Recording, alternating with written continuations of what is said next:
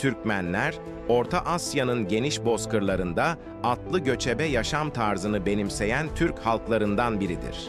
Tarihi kaynaklara göre Türkmenlerin ataları Orta Asya'nın Altay Dağları civarında yaşamıştır. Göçebe yaşam tarzı onları geniş bir coğrafyaya yayılmalarını sağlamıştır. Türkmenlerin ilk yerleşimleri milattan önce 1. yüzyılın sonlarına doğru Orta Asya'da görülmüştür.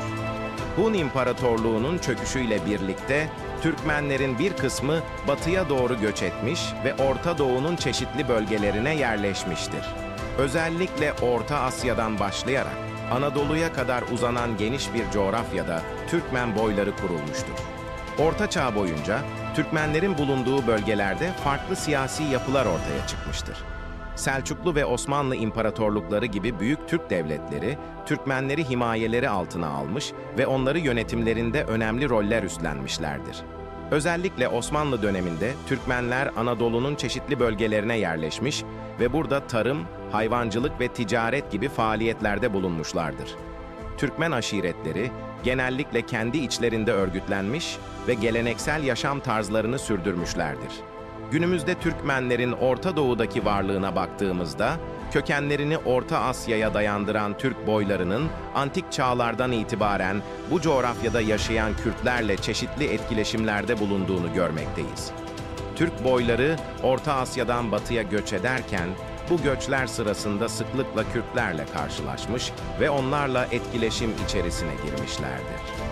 Bu etkileşimler zamanla kültürel alışverişe ve bazı durumlarda da asimilasyona yol açmıştır. Özellikle Orta Asya'dan Anadolu'ya, Mezopotamya'ya ve İran'a uzanan göç yolları boyunca Türkmenler ve Kürtler arasında temaslar olmuştur. Bu temaslar, dil, gelenekler, müzik, giyim tarzı gibi birçok alanda etkileşime neden olmuştur.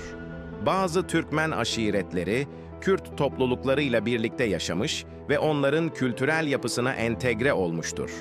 Bu entegrasyon, bazı Türkmen gruplarının zamanla Kürt kimliğini benimsemesine yol açmış veya Kürtlerle iç içe yaşayan Türkmenlerin kimlikleri üzerinde etkili olmuştur.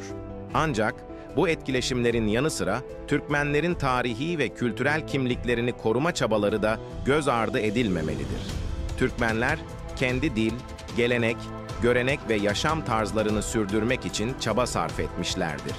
Özellikle Türkmen topluluklarının kendi iç dinamikleri, aşiret yapısı ve kültürel mirası onların kimliklerini korumalarına yardımcı olmuştur.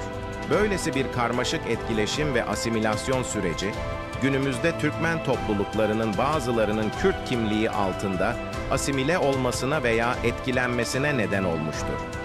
Özellikle Irak'ın Kerkük, Telafer ve Musul gibi bölgelerindeki siyasi ve etnik gerilimler, Türkmenlerin kimliklerini koruma mücadelelerini daha da karmaşık hale getirmiştir. Bu bağlamda Türkmenlerin tarihi ve kültürel kimliklerini sürdürme çabaları çeşitli zorluklarla karşılaşmaktadır.